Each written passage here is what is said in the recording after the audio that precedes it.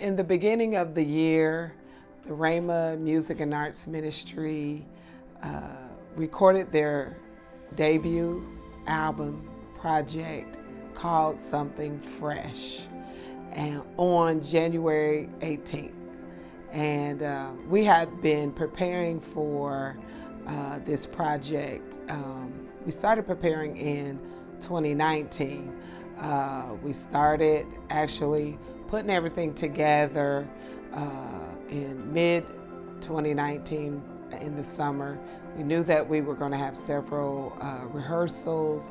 Uh, different uh, members of the music and arts ministry were writing songs. We already had some songs already written and ready to record, uh, but we uh, needed more songs to fill the project and to prepare. So uh, we wanted it to be live because we wanted to actually have the actual feel of what it's like to be in our praise and worship sessions when we have services. So that was in January. And then in February, uh, we came upon our Founders Day.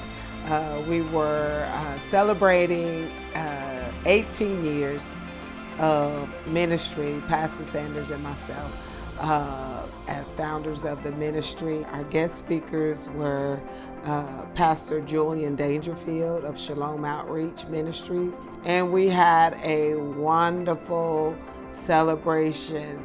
Uh, our uh, ministry, the our family, the Rhema family, blessed us overwhelmingly that uh, during that celebration. Uh, well, once the uh, pandemic hit Albany, of course, uh, initially we didn't know uh, that much about it, but we were continuing to go full steam ahead. And all of a sudden, I think it was our midweek service, we had to shut down.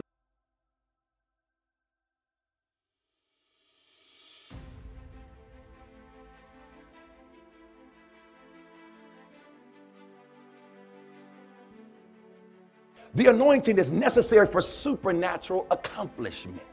Let me, let me tell you something smarts and hard work can make you super normal, but the anointing makes you supernatural.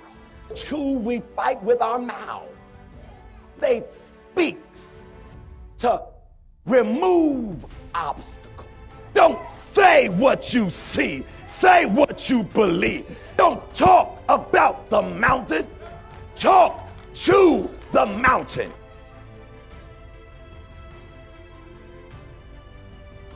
We obviously were not able to go on to um, the mission field in 2020. Uh, we had scheduled to be in different parts of the world Zambia in Africa, uh, Kenya, as well as Uganda and Ghana. We were scheduled to be in Brazil and in other parts of the world. Uh, but because of the pandemic, we were not able to go, but we were able still to support missionary work in Africa. I'm so proud uh, that through our tithes and offering, we were able to give $20,000 to Pastor Joseph Iletu and his church in the laying of their foundation for their new building. And so we are excited about seeing the finished product of this building. But we here at Rhema International Ministries were a part of providing the finances to lay the entire foundation of that building. As a pastor, um, the anointing is very, very critical. And uh, I'm anointed for what I do. Without the anointing, I would have fallen apart.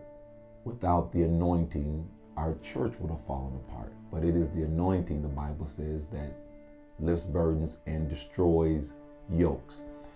Uh, and so I, I sensed the strength of God. I sensed his comfort, the closeness of the Holy Spirit uh, as well as I saw how the people rose in a very dark time within Rhema.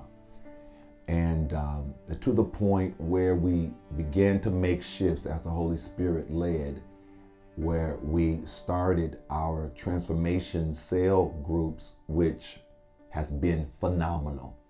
So the church had to leave these walls and they went out into the homes. And these transformation cell groups uh, have been really a saving power to what God was doing here at Rhema International Ministry. You know, we get the meal on Sunday, we get the meal on Wednesday, but these transformation groups serves as a supplement you know, to help give us that boost to start our week off right. And this is why I believe that these transformation cells are, are so relevant and so relative in this city. I don't know who else is doing it. Matter of fact, I haven't even heard because you would have heard by now that somebody has something of this nature. So, Pastor being a trailblazer, being a forerunner, you know, in, within um, his scope of being, you know, a man of God and just bringing glory to God, it's an amazing thing. And I believe these transformation cell groups is exactly what God ordered on such a time as this. Uh, as the direction from Apostle Thompson with the Slack app, which we were using when we were out winning souls, as quickly as I introduced that one on one evangelism program, the people begin to share Christ with others. People begin to get saved. Baptisms throughout the week. Just phenomenal. People being baptized in the Holy Spirit. Uh, people being added to the church. Another element of 2020 that I thought was phenomenal was the fact that we began to get views from all around the country and the world, and we introduced Rhema Nation. And um, people began to join the church because they saw me as their pastor. They were getting fed from the ministry. And people began to join the ministry from different parts of the country. And it's been phenomenal. Rhema Nation is a part of our church as much as those who can attend on the campus itself. So we've been blessed in 2020. Our finances went to a level that it's never been.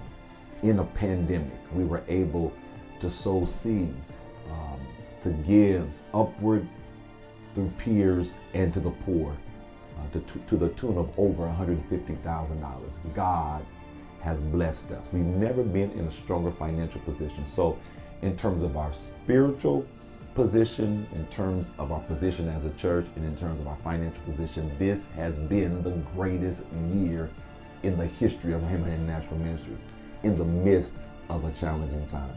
So I'm thankful to God. I can't wait to see what's next in 2021. The Lord bless you.